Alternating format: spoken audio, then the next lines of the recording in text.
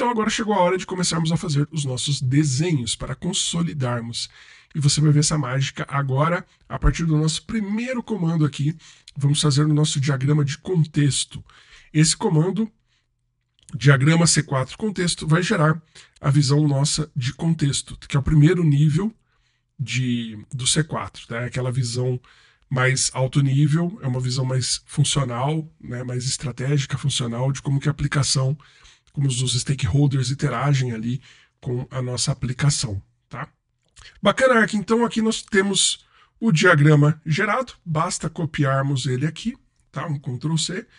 E aí, você pode utilizar o Plant UML, tem a extensão dele tanto para Visual Studio Code, como para é, o WebStorm, né, ou, ou, qualquer ideia da, da JetBrains, que é a que eu estou utilizando aqui.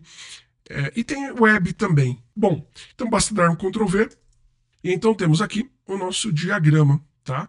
Esse diagrama, ele ficou até que bem bacana, né, para algo gerado automaticamente, né? Ficou até que bem organizado. E nós temos aqui uma visão funcional do nosso usuário, né, o nosso usuário final, a, a empresa aqui de e-commerce, né, fazendo a integração a partir de uma camadinha de integração, né? Nós estamos falando aqui é, dessa caixinha maior que é o nosso sistema, né, de, de entregas com drones. Então nós temos todas as, as caixas aqui, né, as, os grandes módulos da nossa aplicação, né, os subsistemas aqui que compõem o nosso grande sistema de entregas com drone, tá? Também já tem aqui os grandes componentes arquiteturais, né, os mais importantes, o Cloud Storage, uh, o, o, de previsão de tempo, né? tem aqui o Message Queue, tem aqui também o serviço de notificação. Então nós temos aqui um overview da nossa, da nossa solução, tá? Logicamente você pode criticar aqui a IA, tá?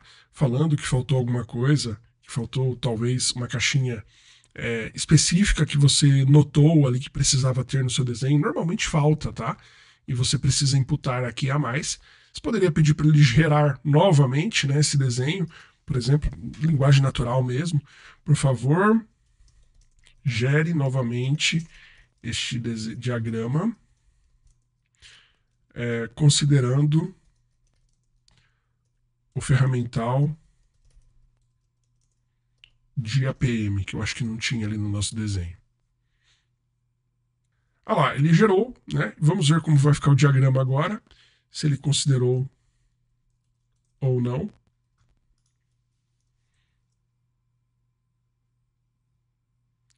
Leva um tempinho, tá? Para ele atualizar aqui. E olha só, agora apareceu aqui a nossa caixinha de APM, né? Para monitorar a, a performance, né? Das aplicações. Olha só que legal.